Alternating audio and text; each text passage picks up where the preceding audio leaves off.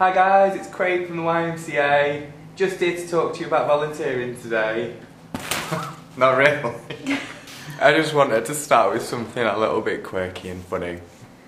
Um, this week, something exciting's happened. The volunteering opportunities have gone live. They are active and they are on our website www.doncasterymca.org.uk. We're asking um, the local community to give some of their time back to their YMCA.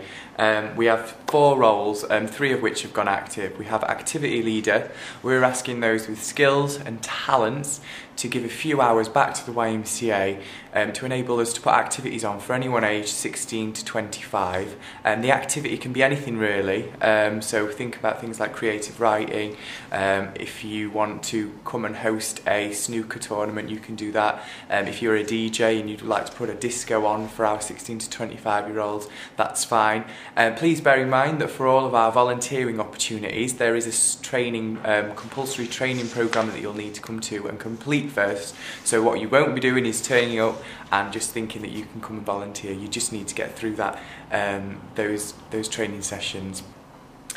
The next volunteering opportunity is the role model. We're looking for adults with a sincere interest in helping our clients living in supported accommodation. Um, these people will be building an occasional relationship with our 16 to 30 year olds Um, they might do things like go shopping with our clients. They might um, attend um, a, an activity at the YMCA, um, and it just prevents isolation for people that are new to the building.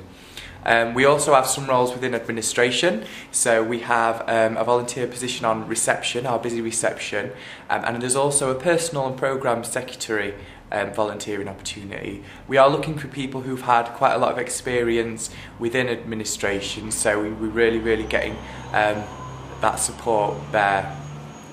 And also next week, quite exciting. Lisa Telford, private rented sector officer, will be talking to you about um, what the programme offers and what um, the private rented sector can do for young people in Doncaster. She didn't want to do it this week because her hair's ratty and she has no makeup on.